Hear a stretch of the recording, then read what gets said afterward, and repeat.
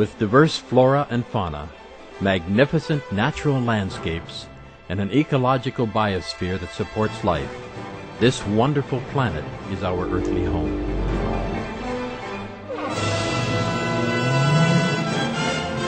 From our animal co-inhabitants to the lush rainforests and life-giving soil, we cherish all these as gifts from the Creator.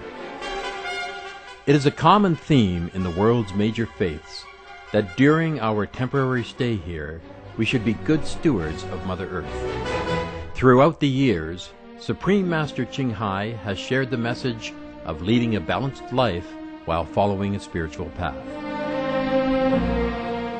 Not only must we nourish our spirits, but we share the responsibility to care for nature and our fellow beings.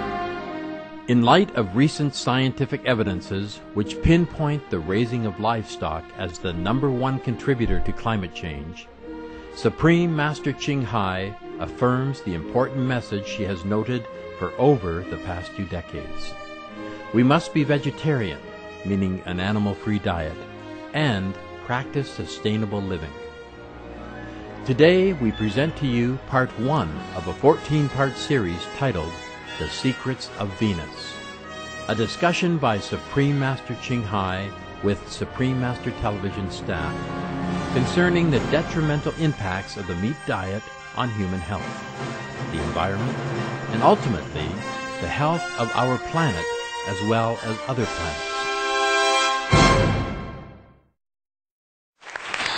Thank you. Please, please be comfortable. Please be seated. Love you guys. Love You're you good, too, good. Master. Ah, yeah.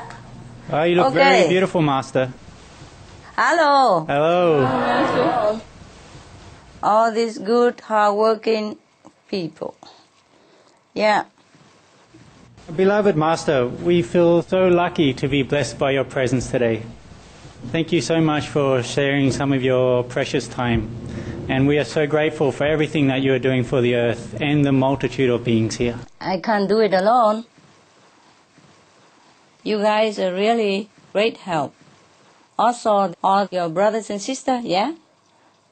And the vegetarian outside, the vegan, waterian, fruitarian, solarian, uh, breatharian, etc., etc., as well as the non-vegetarian people. They are also helping a lot now, and they are changing to a vegetarian diet, which is very beneficial to our planet. I'm very happy that uh, you are doing well. I know you're working hard. All these beautiful, exquisite people. My God.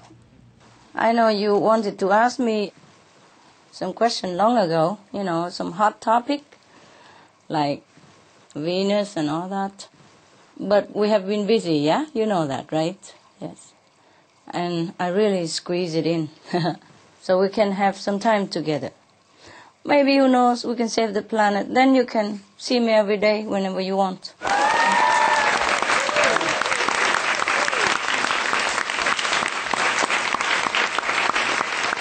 Yeah. Okay. Tell me. Yeah. We are discussing stuff, right?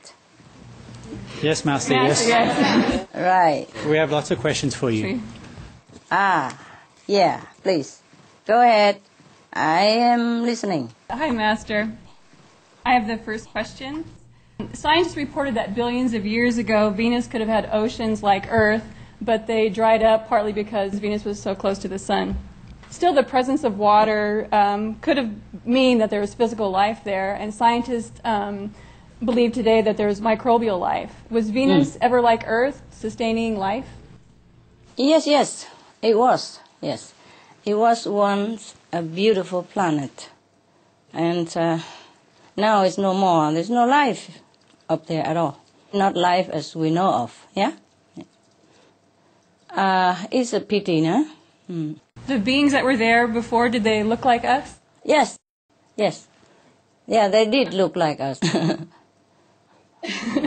So, how does it happen that um, Mars, Earth, and Venus were all inhabited by humanoid looking beings like us? Um, did we have similar ancestors? Thank you, Master. Yes, we have only one ancestor. That is God, huh? Yes. But some fallen angel. Hmm? Hmm. Now, uh, the reason they look similar to us because we had the similar merit, eh? Mars, Venus, and some other planet in our galaxy. In our galaxy only, yeah? Don't ask so too far away, then I will never get out of Samadhi.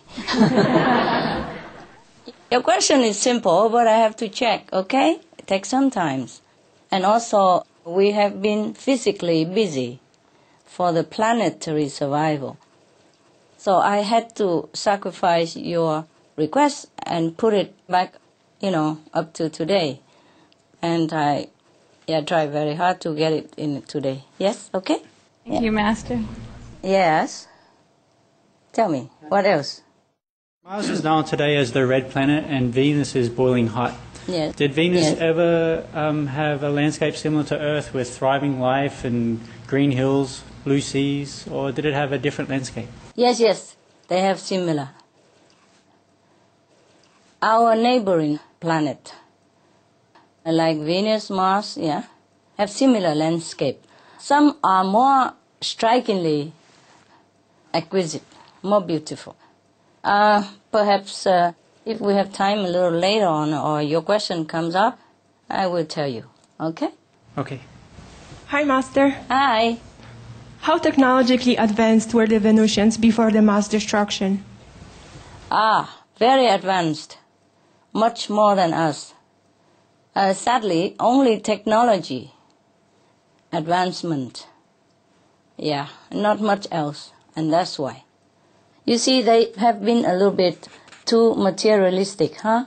They have been very proud of their own achievement and pay very little attention to the divine nature of the inner kingdom. hmm? They were too proud. They had too much uh, advantages from technology, and they think they are God. Yes, they thought they could do anything they want. In fact, almost physically. Uh, let me see if I have anything there for you. Yeah, yeah, okay. Yeah, go ahead, and then maybe I can tell you some other things. Was there an enlightened master before the time of the destruction on Venus? There have been, but they destroy them immediately. Uh, you see, I told you they have been too proud of their material uh, achievement and too arrogant to listen to anyone who talk about something abstract like God or something like value of the inner kingdom or moral standard etc. Therefore, none of the masters survived. And later, no more master was sent there, of course. Just a few beginning, and they almost terminated them immediately. Master, uh, how many people practiced spiritually at the time? How many people? None, baby, none. Oh. My god. Yes. Sorry about that. This Venus, eh? only, yeah? Mm, yes? Any more questions? That's it. Thank you, Master. Welcome. Master, did the Venus inhabitants have a solution like being vegan before the mass extinction? No, no. No. They know nothing about vegan, about compassion, about uh, the interconnectedness between lives. And that's why they faced such a terrible end. Hmm? Worse than Mars. And what kind of disaster occurred on Venus? Explosive and poisonous gases from livestock as well, and that in turn trigger other gases, yeah, from all sides. And then they just explode within a few weeks, like eight or nine weeks. Everything